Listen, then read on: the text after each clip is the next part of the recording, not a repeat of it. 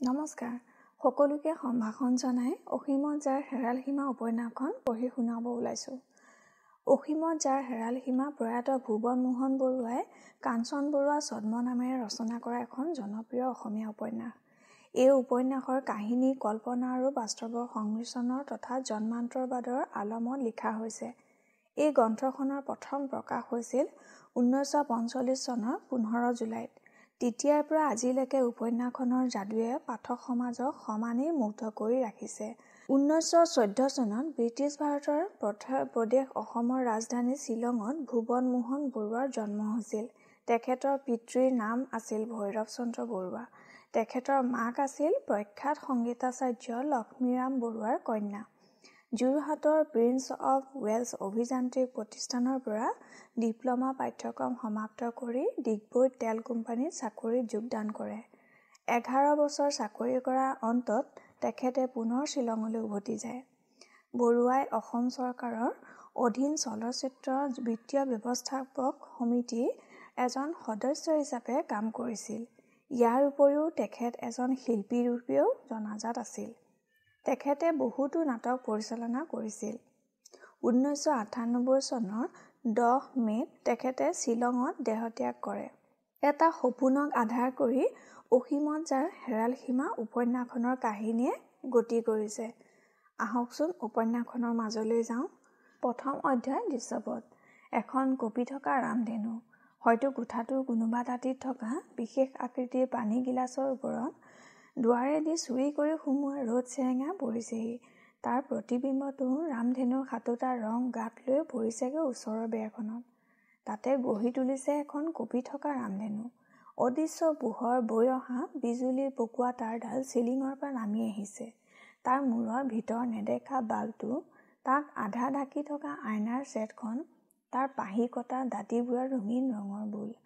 ভৰ দুপৰীয়া কোনোবা বিহুতলীৰ পৰা উটি অহা কোমল বতাহজাকত সিও কঁপিছে আৰু কঁপিছে খিৰিকীৰ নীলা পৰ্দা দুখন। মাজে মাজে আনন্দত পাখি মেলি উৰি আহিব খুজিছে কিন্তু পৰা নাই। আকৌ উভতি গৈছে আকৌ শব্দ কৰিয়ে সাৱটি ধৰিছে লোহাৰ বাৰবোৰত। অধীৰ উত্তেজনাত কঁপিছে পৰ্দা দুখন। ৰামধেনুখন বিজুলী চাকিটো আৰু এই সকলোৰে লগত একেটা সুৰত একেটা তালত একেটা ছন্দত মোৰ অন্তৰখন দুপৰীয়া বাৰ বজাতে অফিচ ছুটি কৰি বিচনাত পৰি আছোঁ। নিশ্চিত আৰামতে পৰি আছোঁ। কালিলৈ দেওবাৰ। সমুখৰ ত্ৰিছটা দিন ছুটি আৰু পাই কোনে? বৰচাহাবৰ অৱজ্ঞা বিয়ে ৰঙা চকু একেখন চকী একেখন টেবুল একেবোৰ ফাইলৰ বিভৎস নগ্নতাৰ মাজত অবিশ্ৰান্তভাৱে নিজক ডুবাই ৰখাৰ অশান্তিৰ পৰা মই তেতিয়া বহুত দূৰত। মুক্ত স্বাধীন উদ্দেশ্য নাই চিন্তা নাই ভাৱনা নাই।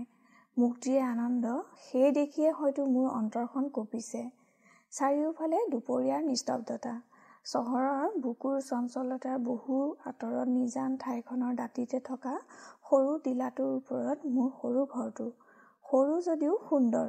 সন্মুখৰ নিজম ঘাঁহনিডৰাৰ চাৰিওকাষে নানা ধৰণৰ ফুলৰ বেদ আলিৰ সিপাৰে সমতল চৰকাৰী হাবিডৰাৰ মাজে মাজে দুই চাৰিজোপা ডাঙৰ ডাঙৰ গছ। গছৰ গুৰিয়ে গুৰিয়ে বনৰীয়া ডেফনি ফুলৰ জোপা।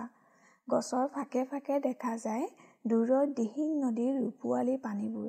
তাৰ বুকুত ভাহি যোৱা পালতৰা নাওবোৰ। বেলিটো ডুবু ডুবু হৈছে। ফুলনিৰ মাজত বহি মই মোৰ চকু দুটা ৰুমালেৰে বন্ধ। পখিলীয়ে তাইৰ সৰু হাত দুখনেৰে বান্ধি দিছে। পখিলী মোৰ চাৰি বছৰীয়া যি তাই মোৰ লগত খেলিছে। বগা পখিলীজনীৰ দৰেই তাইৰ পাতল দেহাটো ঢাকি থোৱা বগা ফ্ৰকটোৰ সৈতে দেখিবলৈ ধুনীয়া হৈছে। চোলাটোৰ ফুলি থকা দীঘল হাত দুখনৰ মূৰত জিলিকি আছে সোণৰ বালা দুপাত। ভৰিৰ জোতাযোৰ চুটি মোজাযোৰ সিও বগা। মূৰৰ জপৰা কেঁকুৰা চুলিবোৰৰ মাজত লাগি থকা বগা ফুলৰ পাপৰিবোৰো বগা। মোৰ চকু দুটা বন্ধা দেখিয়ে হবলা তাইক আৰু ভালকৈ দেখা যেন লাগিছে। ফুলনিৰ মাজে মাজে তাই মোৰ ওচৰলৈ উৰি আহি চিঞৰি সোধে মই ক'ত? ওচৰৰ নেদেখা ফুল এপাহ আলফুলকৈ ধৰিবৰ চেষ্টা কৰি কওঁ এয়া মোৰ হাতৰ মাজত। ই নহ'ল। হাঁহিত উত্ৰাৱল হৈ তাই দূৰলৈ উৰা মাৰে আকৌ ঘূৰি ঘূৰি উৰি মোৰ আগত পৰি চিঞৰি উঠে মই ক'ত? শব্দটো অহাৰ ফালে চোঁচা লওঁ। তাই ধৰা নপৰে। গাৰ বতাহ লাগি ওচৰৰ ফুলবোৰৰ নিয়ৰবোৰ মোৰ হাতত সৰি পৰে। তাই হাঁহে আকৌ হাঁহে আকৌ যায়গৈ। শেষত এবাৰ জঁপিয়াই পৰেহি মোৰ গাত। ফুলৰ দৰে কোমল তাই সৰু সৰু হাত দুখনেৰে সাৱটি ধৰে মোৰ ডিঙিত। মোৰ দুয়ো হাতৰ মাজত তাই হেৰাই যায়। ঢাক খাই যায় তাইৰ সৰু এধানমানি দেহাটো। মোৰ চকুৰ বান্ধটো অলপকৈ তুলি ধৰি সোধে এইবাৰ মই ক'ত? কওঁ এয়া মোৰ বুকুৰ মাজত মোৰ হাতত ভৰ দি হাউলি পৰি নীলা আকাশলৈ চাই চাই তাই অধীৰ আনন্দত ধৰা দিয়াৰ আনন্দত হেৰাই যোৱাৰ আনন্দত ডুবি যায়।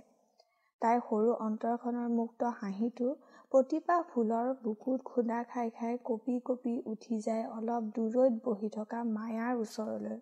ফুলনিলৈ নামি অহা চিৰিটোৰ প্ৰথম ঢাপটোৰ ওপৰত বহি মায়া ওচৰৰ টবৰ বতাহত নাচি থকা ফুলকেইপাহে মায়াৰ আঁচলৰ আগটো পাই যেন ময়েই পখিলীয়ে খেলা খেলটোৱে খেলিছে। অলপ ব্যস্ততাত কিবা এটা গুঠি থকা মায়াৰ পিঠিত ভাগি পৰা খোপাটোৰ দুই এডাল চুলিৰ আগ। সেই নীলা পৰ্দাকেইখনৰ দৰেই মুক্তি বিচাৰি কঁপি কঁপি উৰিছে। কোচত থকা বগা ঊলৰ লাৰুটো কেতিয়া যে মনে মনে মুক্তি পাই নাচি নাচি চিৰি বগাই নামি আহিছে তাক মায়াই ক'ব নোৱাৰে। মাজে মাজে মূৰ তুলি মায়াই আমি চকুৰ আগত আছোনে নাই চাই লয় পুনৰ নিশ্চিত হৈয়ে নিজৰ কামত মগ্ন হৈ পৰিছে। মোৰ ওপৰত মায়াৰ আস্থা নাই। পখিলীৰ চঞ্চলতাক বিশ্বাস নকৰে। পখিলীটো শিশু কিন্তু মোৰ সামৰ্থ্যৰ ওপৰত ভৰসা কৰি মায়াই আমাক চকুৰ আঁৰ হৈ যাবলৈ নিদিয়ে দিব নোখোজে। খেলাৰ মাজে মাজে পখিলীয়ে মাকক সোঁৱৰাই দিছে যে মোক পাই তাইৰ মাকক একেবাৰে পাহৰা নাই। আমি সেইফালে চালেই প্ৰতিবাৰে দেখোঁ মায়ে সৰুকৈ হাঁহে। প্ৰতিদিনৰ পুৰণা সুন্দৰ হাঁহিটো। কিন্তু তাৰ মাজৰ মাধুৰ্যখিনি প্ৰতিবাৰেই নতুন হৈ চকুত পৰে। মোৰ ভাল লাগে। এই হাঁহিটোৱে মোক মনত পেলাই দিয়ে মোৰ পুৰণা দিনবোৰৰ কথা। মায়া তেতিয়া নতুন মোৰ সম্পূৰ্ণ অচিনাকি। মনত পৰে তাৰো আগৰ বছৰবোৰৰ কথা। আজি ভাবিলে সেই আচৰিত লাগে। স্কুলৰ বিশ্ববিদ্যালয়ৰ বিশেষকৈ চাকৰিৰ বছৰবোৰো হোষ্টেলত মেছত হোটেলত চৈধ্য পোন্ধৰ ঠাইত ছত্ৰিছ পঁয়ত্ৰিছজাত ৰান্ধনি হাতৰ ভাত খাই খাই পাহৰি গৈছিলোঁ ঘৰৰ ভাতৰ সোৱাদটো। কিন্তু তাৰ বাবে অলপো দুখ নাছিল বিচৰাও নাছিলোঁ নিজৰ এখন ঘৰ। এবাৰ ভবাও নাছিলোঁ জীয়াই থকা উদ্দেশ্য কি সাৰ্থকতা ক'ত? এৰি দিছিলোঁ জীৱনটোক আগবাঢ়ি যাবলৈ। চিন্তা নাই ভাৱনা নাই কোনো বাধ্যবাধকতাও নাই। হেলনীয়া ধূলিৰ বাটত এচলু পানী এৰি দিয়াৰ দৰে এৰি দিছিলোঁ নিজক উটি যাবলৈ। জেনি যলৈকে ইচ্ছা যাওক উটি শেষ হৈ যাওক মাথো এচলু পানী। চাই থাকোঁতেই শুকাই যাব। সেইকণ সময়লৈকে কিয় আকৌ অনাৱশ্যক জঞ্জাল কিছুমান বঢ়াই লওঁ। কিন্তু সি আৰু সম্ভৱ নহ'ল। মাৰ চকুলো গুৰুজনৰ আদেশ বন্ধু বান্ধৱৰ উপদেশ আগ্ৰহ অভিমানত বিৰক্ত হৈ শেষত এদিন ক'বলৈ বাধ্য হ'লোঁ। তহঁতৰ যি ইচ্ছা। বুজিলোঁ নিজস্ব সকলো হেৰুৱালোঁ। সুখ আনন্দ স্বাধীনতা। মোৰ মুখৰ পৰা ওলোৱা মাত্ৰ একেষাৰ কথাই সকলো ওলট পালট কৰি দিলে। আপোন ইচ্ছাত বৈ অহা পানী চলুৰ গতি হঠাৎ ঘূৰি বৈ গ'ল আন নতুন কোনোদিনে নেদেখা কোনোদিনে নজনা বাটেৰে। দুটা মাহো পাৰ নহ'ল। কৰ্ণিভেলৰ যোৱাত ভাগ্য পৰীক্ষা কৰিবলৈ নেদেখা মোনাটোত চকু মুদি হাত ভৰাই উলিয়াই অনা টিকটটোৰ দৰেই। জীৱনত যোৱা খেলটো চকু মুদিয়েই তুলি ল'লোঁ মায়াক। নিজক ধিক্কাৰ দিছিলোঁ। কিয়? মাৰ চকুলো দেখি নিজস্ব সকলো স্বাধীনতা বিসৰ্জন দি এটা গলগ্ৰহ চপাই ল'লোঁ। এতিয়াও মনত পৰে ঘৰলৈ অনাৰ পাছতো চাৰি পাঁচ দিনলৈ মায়াৰ ফালে এবাৰ ঘূৰিও চোৱা নাছিলোঁ। আগ্ৰহ নাছিল ইচ্ছাও নাছিল ধাৰণাও নাছিল যাক আনিলোঁ তেওঁ দেখিবলৈ কেনে। আঁতৰি আঁতৰি ফুৰিছিলোঁ। সকলোৰে ওপৰত খং উঠিছিল বেছিকৈ এই মায়াৰ ওপৰত। কিয়? কিয় এই ছোৱালীজনীয়ে মোৰ সুখ শান্তিকণ শেষ কৰি দিবলৈ আহিল? দুৰ্ভাৱনা দুশ্চিন্তাত সকলো আন্ধাৰ হৈ উঠিছিল। অকলতো সেয়ে নহয় যিগৰাকীক লৈ এই সকলো চিন্তা ভাৱনাৰ উৎপত্তি সেইজনাৰ আজিৰ ন ছোৱালীৰ লাজৰ ঢাকনিৰ তলত লুকাই থোৱা আচল ৰূপটো। দুদিন পাছত বা কি মূৰ্তি ধৰি আত্মপ্ৰকাশ কৰে তাক ভাবি অন্তৰাত্মা কঁপি উঠিছিল। ভয়ত পলাই পলাই ফুৰিছিলোঁ। মনত পৰিছে চাৰিদিনৰ দিনা আবেলি নিজৰ কোঠাত মনে মনে বহি একেবাৰে ভাবি আছিলোঁ। হঠাৎ অনুভৱ কৰিলোঁ কোঠালৈ কোনোবা এজন লাহে লাহে সোমাই আহিছে। ভৰিৰ খোজৰ ক্ষীণ শব্দটো মোৰ অচিনাকি। বুজিলোঁ কোন সেয়া কিন্তু ঘূৰি চাবৰ সাহ নহ'ল। কিতাপ এখন মিছাতে মেলি ললোঁ। যোৱা চাৰিদিনৰ ব্যৱহাৰৰ কথা মনত পৰি এই প্ৰথম অলপ লাজ লাগিল। অলপ বিৰক্তও হলোঁ। ভাবিছিলোঁ মোৰ আহ্বান নাপালে মায়া উভতি যাব কিন্তু নগ'ল। বৰঞ্চ আগবাঢ়ি আহি মোৰ চকীৰ পাছফালে থিয় দিলেহি আৰু বহি থাকিলেও বেয়া দেখি থিয় দিব লগা হ'ল। কিন্তু কি কৰিম ভবাৰ আগতেই দেখিলোঁ মায়ে হাতৰ সৰু ৰূপৰ বঁটাটো মোৰ টেবুলৰ ওপৰত থলে। বোধ কৰোঁ তাত মছলা আছে। তৎক্ষণাত ঠিক কৰিব নোৱাৰিলোঁ প্ৰথমতে মছলা খাম নে ঘূৰি মায়াৰ মুখলৈ চাম। হঠাৎ এবাৰ দৰাত থকা মোৰ সৰু সংসাৰখনৰ চাবিকোচা চকুত পৰা হাতত তুলি ললোঁ। মায়াৰ মুখলৈ নোচোৱাকৈ তাক আগবঢ়াই দি ইণ্টাৰভিউটো সোনকালে শেষ কৰি দিবলৈ ব্যৱসায়িক সুৰতে কৈ পেলালোঁ। সংসাৰ সমুদ্ৰত চলাবলৈ লোৱা সৰু নাওখনৰ পথাপাত গুৰিতেই ধৰে নে আগতেই ধৰে মোৰ একো ধাৰণা নাই। মই নাজানো আৰু জানিবৰ আগ্ৰহো নাই। সদায় থকা এই ঘৰখনৰ বিষয়ে সাধাৰণ জ্ঞানকণ মনত পেলাই ইয়াকে ক'ব পাৰোঁ যে তাত সোণৰ পাহাৰো নাই ৰূপৰ পাহাৰো নাই। অৱশ্যে একেবাৰে মৰুভূমিও নহয়। পেৰা পেটাৰী আলমাৰী চিন্দুক তলে ওপৰে ক'ত কি আছে সেইবোৰৰ সৈতে সাক্ষাৎ পৰিচয় মোৰ আজিলৈকে হোৱা নাই। নহ'ব লগা হ'লেই সুখী হ'ম। তাৰ চাবিবোৰ সদায় মোৰ টেবুলে টেবুলে ঘূৰি ফুৰে যদিও কোনোদিনে ব্যৱহাৰ কৰি চোৱা নাই। কিহৰ কোনটো চাবি বাছি উলিয়াবলৈ বোধ কৰোঁ মোতকৈ তোমাৰেই কম সময় লাগিব। সেই আশাতে তোমাৰ বস্তু তোমাকে গতালোঁ। ইমান দিন নামত মোৰ আছিল যদিও আজিৰ পৰা আৰু মোৰ নহয়। মই নিবিচাৰোঁ। গুপ্ত ঐশ্বৰ্যই যদি কিবা থাকে মই কেতিয়াও দাবী নকৰোঁ। মুঠতে এই চাবিকোচা ভুলতো আৰু মোৰ ওচৰলৈ নাহিলেই মই নিশ্চিত হ'ম ভাৰমুক্ত হ'ম। নিঃশব্দে নিঃসংকোচে চাবিকোচা মায়ে মোৰ হাতৰ পৰা তুলি ল'লে। লক্ষ্য কৰি দেখিলোঁ হাতৰ আঙুলিকেইটা কিন্তু অলপো নকঁপিল। তাৰ বৰণটো চকুত পৰাত মুখলৈ চাবৰ লোভ হ'ল। মায়াক আচৰিত কৰি হঠাৎ মুখ ঘূৰি মায়াৰ মুখলৈ চালোঁ। স্বাভাৱিক গাম্ভীৰ্যৰে ভৰা কোমল এখন মুখ। মায়ে স্পষ্ট মোৰ চকুলৈ চাইছে। মোৰ সন্মুখত থিয় দিয়া ভংগীটোৰ ব্যৱহাৰত মোৰ হাতৰ পৰা চাবিকোচা তুলি লওঁতে ন ছোৱালীৰ অনাৱশ্যক লাজ জড়তা সংকোচৰ পৰা মায়া সম্পূৰ্ণ মুক্ত। অথচ সামান্যতম চঞ্চলতাও নাই। মনে মনে স্বীকাৰ কৰিলোঁ মায়াৰ মাজত অসাধাৰণ কিবা এটা নিশ্চয় আছে। মনৰ শক্তিও আছে বিপদৰ ভয়ত মোৰ দৰে পলাই ফুৰা স্বভাৱ মায়াৰ দেখিছোঁ নাই। যাক এৰা নাযায়। যাৰ লগত চিৰ জীৱনটো কটাব লাগিব তাৰ সন্মুখীন হ'বলৈ মায়াৰ সাহ আছে। মোৰ এইকেইদিন আৰু এতিয়াই ব্যৱহাৰৰ অৱজ্ঞাত মায়াৰ খং উঠা স্বাভাৱিক। কিন্তু মায়াৰ মুখলৈ চাই ক'ব নোৱাৰিলোঁ অপমানটো মায়ে কেনেকৈ গ্ৰহণ কৰিছে। ক'ব নোৱাৰাকৈ স্বীকাৰ কৰি পেলালোঁ। মোৰ গুণৰ কথা ক'লোঁ নিজৰ অসমৰ্থতাকে মোৰ বেছি ভয়। সেই দেখিয়েই মই পলৰীয়া। যদি তুমি ভাৰ ল'ব পাৰা মোৰ মুখলৈ চাই অলপকৈ হাঁহি সৰুকৈ কিন্তু স্পষ্ট কৰি মায়ে ক'লে বাৰু মই মানুহটো সম্বন্ধে মায়ে কি ভাবিছে ক'ব নোৱাৰোঁ। যিয়েই নহওক সি যে বৰ উচ্চ নহয় সেইটো ধুৰুপ মায়া যাব খোজা ল'ৰালৈকে মাতিলোঁ। শুনা মায়া এটা কথা এইকেইদিন মোৰ ব্যৱহাৰ দেখি মোক ভুল নুবুজিবা। স্বীকাৰ কৰোঁ গুণৰ তুলনাত মোৰ দুখৰ মাত্ৰা বেছি যদিও আচলতে মই মানুহটো সিমান বেয়াও নহয়। মাথো সকলো কামতে ভয়টো অলপ বেছি। আকৌ এবাৰ হাঁহি সান্তনা দিয়াৰ দৰে ক'লে মই জানো জানা যদি ভালেই হৈছে পাছে ভয় নকৰিবা মই বেছি আমনি নকৰোঁ প্ৰয়োজনো মোৰ নিচেই সামান্য। কিন্তু তোমাৰ প্ৰয়োজন যিমানেই হওক লাগিলে নিমখ হালধি বিচাৰি মই হ'লে দোকানলৈ যাব নোৱাৰোঁ। তোমাক এতিয়াই কৈ থলোঁ এইবাৰ অলপ শব্দ কৰিয়ে মায়া হাঁহি উঠিলে। তাকো মই জানো বাৰু মই নিজেই যাম। মায়া কোঠাৰ পৰা ওলাই গ'ল। কিছু সময় ঠিক কৰিব নোৱাৰিলোঁ। মোৰ কথাত মায়া জব্দ হ'ল নে মায়াই মুখহে জব্দ কৰি গ'লগৈ এই মায়াৰ সেই সুন্দৰ হাঁহিটোৱেই আনি দিলে মোৰ জীৱনলৈ বিৰাট পৰিৱৰ্তন। সিয়েই মোক আকৌ গঢ়ি তুলিলে নতুন মানুহ কৰি। বছৰৰ পাছত বছৰ পাৰ হৈ গ'ল। কোনোদিনে যি সুখৰ কল্পনা কৰা নাছিলোঁ তাৰ মাজত মায়াই মোক সেই প্ৰথম দিনাৰে পৰাই ডুবাই ৰাখিছে। আজি মায়া নহ'লে মোৰ এক মুহূৰ্তও নচলে। মনত পৰে। মাত্ৰ চাৰি মাহৰ পাছতেই মায়া এমাহৰ কাৰণে ঘৰলৈ গৈছিল। কিন্তু এসপ্তাহ পাৰ হোৱাৰ আগতে আকৌ ঘূৰি আহিল। আহিবলৈ বাধ্য হ'ল। তাৰ কাৰণটো যেনিবা নক'লোৱেই।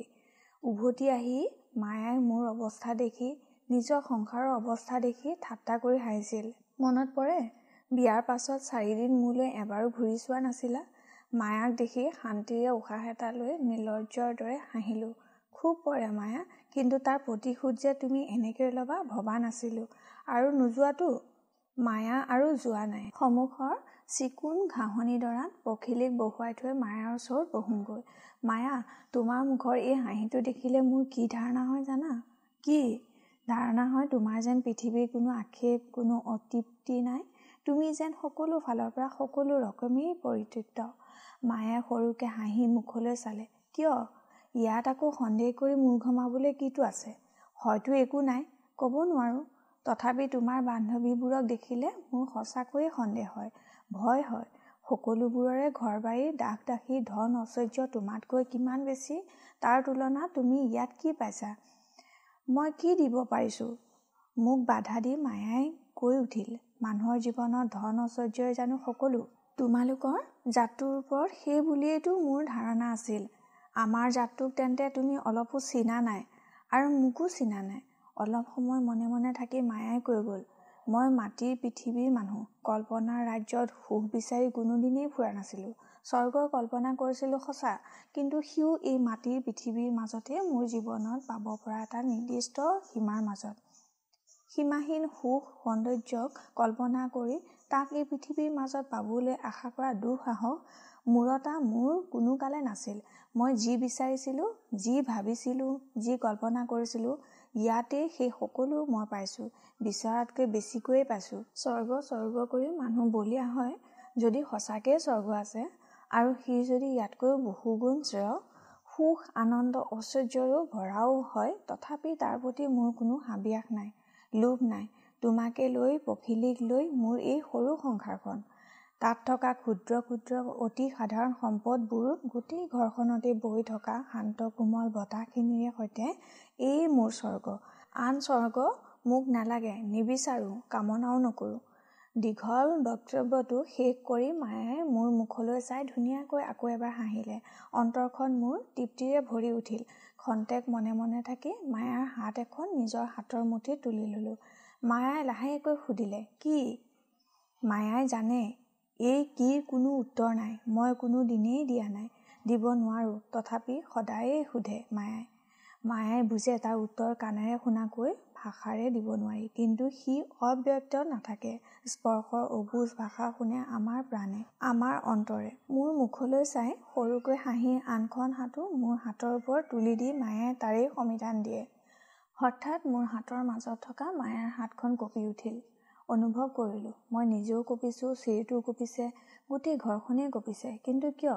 ভূঁইকঁপ নিশ্চয় ভূঁইকঁপ। ভূঁইকঁপত গোটেই পৃথিৱীখনেই কঁপিছে। মায়া চিটিকি মোৰ হাতৰ পৰা এৰাই গ'ল। পখিলী ফুলৰ মাজতে হেৰাই গ'ল। খন্তেকতে এটা এটাকৈ সকলো নেদেখা হৈ গ'লোঁ। চকুৰ আগতেই মই চাই থাকোঁতেই মায়া পখিলী আৰু মোৰ ফুলনিৰ ফুলবোৰক লৈ মায়াৰ গোটেই স্বৰ্গখনেই ভাঙি চূৰ্ণ বিচূৰ্ণ হৈ গ'ল। মই একোকে ধৰি ৰাখিব নোৱাৰি চিঞৰিলোঁ মায়া মায়া। অহ হেং ইউৰ মায়া। কঁপি থকা পৃথিৱীখনে নিষ্ঠুৰভাৱে মোক তাৰ উত্তৰ দিলে। আকাশৰ অসীম নীলিমাৰ সীমাহীন বুকুতে কল্পনাৰ ৰঙীন তুলিকাৰে মনৰ সুখত পৰম তৃপ্তিত ইচ্ছামতে আঁকি গৈছিলোঁ সুন্দৰ ছবিখন। বন্ধুবৰৰ প্ৰবল ঠেলাত সি মচ খাই একাকাৰ হৈ জহি পমি আন্ধাৰৰ মাজত ডুবি গ'ল। সকলো অসত্যৰ মাজত একমাত্ৰ সত্য বিচাৰি পালোঁ। মেচৰ চুকৰ কোঠাটোত তেল চিকটিৰে ভৰা বিচনাখনত মই পৰি আছোঁ। খিৰিকীৰ পৰ্দা দুখনে সঁচা কিন্তু নীলা নহয়। ৰাজ্যৰ চেকাৰে ভৰা নাম নোহোৱা ৰঙৰ পৰ্দাকেইখন বতাহত অলপ অলপকৈ কঁপিছে। চিলিঙৰ পৰা ওলমি থকা কলা এলান্ধুৰ জৰীডালৰ মূৰত কলাই কৰা ছেটখন বাল্বটো হয়তো এদিন বগাই আছিল। কিন্তু যে এতিয়া হালধীয়া হৈ উঠিছে তাৰ কোলাত গঢ়ি উঠা জালখনত ঘৰ সংসাৰ পাতি পৰম আনন্দৰে বিচৰণ কৰি ফুৰা মকৰাৰ এটা ডাঙৰ পৰিয়াল। চিলিঙৰ এটা চুকত ডাঙৰ এটা বিন্ধা তাৰ সিপাৰে আন্ধাৰ। বেৰত ৰামধেনুৰ পৰিৱৰ্তে দুবছৰৰ আগৰ এখন আধা ফলা কেলেণ্ডাৰ। কোঠাটোৰ এচুকত দবৰা দবৰি কৰি পৰি থকা মূৰে কেইযোৰমান আকৃতি নোহোৱা ফটা জোতা। তাৰে কেইপাতমানে হাঁহাকৈ মুখ মেলি মোৰলৈকে চাই আছে। লোহাৰ দাঁতবোৰো আনকি মই স্পষ্টকৈ দেখিছোঁ। সিহঁতৰ কলা ৰঙা ফিটাবোৰে যোৰা দি আঁঠুৱাখনৰ দুটা দাঁতি বেৰৰ লগত বন্ধা। খবৰ কাগজৰ টেবুল ক্লথেৰে ঢকা টেবুলখনৰ ওপৰত এটা আধা খোৱা চাহৰ নাল ভঙা পিয়লা। আৰু চাবৰ ইচ্ছা নহ'ল। স্বৰ্গৰ পৰা নৰকলৈ নে নৰকৰ পৰা স্বৰ্গলৈ উঠি আহিলোঁ। ভবাৰ আগতে আকৌ এটা ঠেলা খাই প্ৰায় হামখুৰি খাই পৰিছিলোঁ। বিচনাৰ খুটাৰ লগত বন্ধা বাঁহডালত ধৰি কঠমপি হেৰুলোঁ বন্ধুবৰ ফুকনে মোক তুলি বহুৱাই দিলে। কু মোহাৰি মোহাৰি চাই দেখোঁ মোৰ কাষত চাৰিজন সুবেশ ডেকা সকলো মোৰ বাল্য বন্ধু অজিত পজিৰ দিলীপ আৰু ফুকন। এতিয়া সিহঁতৰ এজন হৈছে প্ৰফেচাৰ এজন কবি এজন ডাক্তৰ আৰু ফুকন মোৰ দৰে কেৰাণী। একেলগে একেখন বেঞ্চতে বহি স্কুলীয়া জীৱন কলেজৰো বছৰ দিয়েক শেষ কৰি ভাগ্য অন্বেষণ কৰিবলৈ দিহা দিহি পৃথিৱীৰ বুকুত ছিটিকি পৰিছিলোঁ। দিন দিয়েক হ'ল আকৌ অভাৱনীয়ভাৱে লগ খাইছোঁ। ডাক্তৰ বন্ধুৱে কোঠাটোৰ চাৰিও দাঁতিয়ে চকু ফুৰাই নাক কোচালে। ডিছগ্ৰেছফুল বি এম মই হাঁহিলোঁ কি ডিছগ্ৰেছফুল ডক? মই নে মোৰ শোৱাটো? নে কোঠাটোৰ এই সৌন্দৰ্যখিনি? কোনটো? এভৰিথিং। নাও গেট আপ গেট আপ হোৱাৰ আগতেই প্ৰফেচাৰ বন্ধুৱে ৰগৰ কৰি সুধিলে হেই মায়া মায়াকৈ চিঞৰিছিল কাক? গহীন হৈ উত্তৰ দিলোঁ কাকো চিঞৰা নাছিলোঁ প্ৰফেচাৰ বৰঞ্চ এটা সত্য আৱিষ্কাৰ কৰি এই পৃথিৱীৰ স্বৰ্গৰ নৰকৰ সকলোকে চিঞৰি চিঞৰি জনাই দিবৰ ইচ্ছা আছিল যে সংসাৰত সুখ আনন্দ ঐশ্বৰ্য প্ৰেম প্ৰীতি সকলোবোৰেই কেৱল মায়া দুৰ্ঘুৰ মায়া। বালি চাপৰিত বালিৰে সজা ফাঁকীৰ প্ৰাসাদটোৰ দৰেই সকলো অসত্য। সত্য মাথো মোৰ এই বিচনাখন আৰু মোৰ জীৱনটো। কিন্তু তহঁতে মনে মনে থাক এতিয়া উঠ। মোক বিচনাৰ পৰা তুলি দি সি কৈ গ'ল আমাৰ সকলো ৰেডি কালিলৈ পুৱাই ভইচ আৰম্ভ কৰিম। তই ছুটি পালিনে নাই? পাইছোঁ। পাছে দিহিঙৰ পানীয়ে পানীয়ে তাৰ দাঁতিৰ নেদেখা হাবিয়ে হাবিয়ে এক্সকাৰ্ছন কৰিবলৈ গৈ মহ দাহৰ কামোৰ খাই মেলেৰিয়া মাতি আনিবলৈ নহয়। অফিচৰ বৰাবাবুৱে মোক এই ছুটীৰ মাহটো শুই ল'বলৈ কৈছে।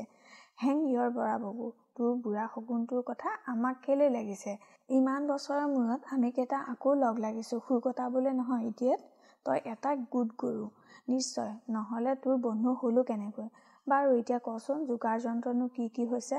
এভৰিথিং তিনিজুৰীয়া দাঁৰৰ চৈ থকা ডাঙৰ নাও নাৱৰীয়া নেটৰ খিৰিকী থকা টেণ্ট কেম্প খাট ৰেচন বন্দুক কেমেৰা ফিল্ম ফাৰ্ষ্ট এইড মুঠতে খোৱাৰ যোগাৰ শোৱাৰ যোগাৰ পিন্ধাৰ যোগাৰ সকলো হৈছে। তাৰ উপৰিও প্ৰৰ মানে প্ৰফেচাৰৰ বেহেলা ডকৰ দুকি ডাইনা কবিবৰৰ চাপৰি মোৰ নাচ আৰু তোৰ গান। বেছ বেছ কৈ যা কৈ যা। আৰু বাঘৰ গোজৰণি হাতীৰ চিঞৰ ভালুকৰ হাঁহি নাই নহ'ব ফুকন। অকল এইবোৰতে মোৰ অলপো মনে ধৰা নাই। মোক লাগে কি লাগে? ইয়াত বাহিৰে আৰু তোক কি লাগে? বহুত। তহঁতৰ যোগাৰত না আছে ৰোমাঞ্চ না আছে কবিতা। শুন নিতান্তই যদি মই এই বিচনা এৰি যাব লগা হয় তেতিয়াহ'লে মোক লাগিব দিহিঙৰ নীলা চিকমিকিয়া পানীৰ বুকুত সৰু ধুনীয়া এখন টুলুঙা নাও।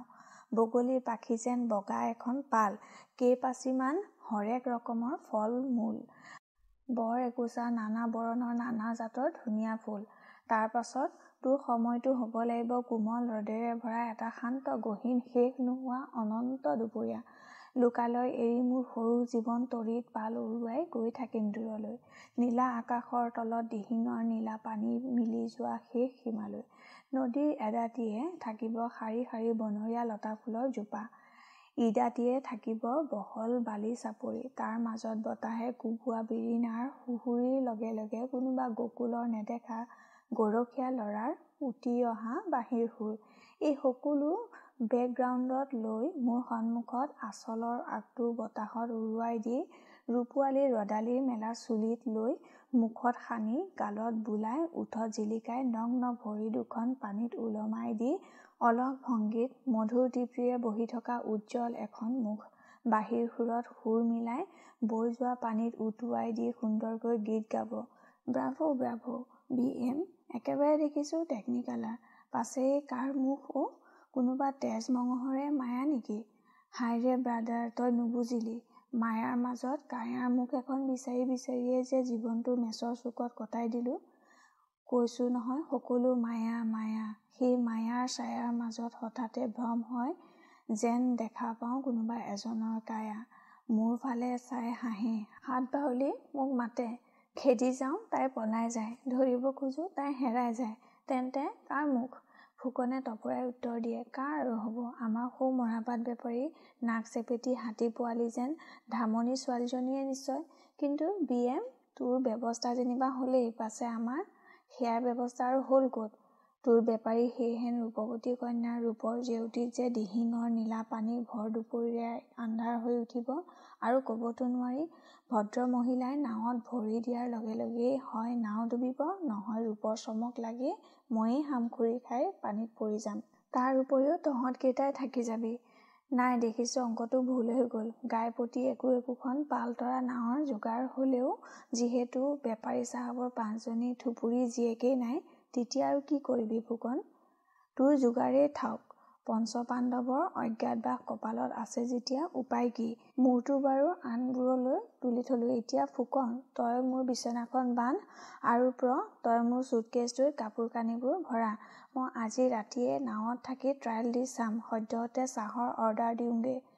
মেছৰ চাকৰটোক চিঞৰি চিঞৰি কোঠাৰপৰা ওলাই আহিলোঁ।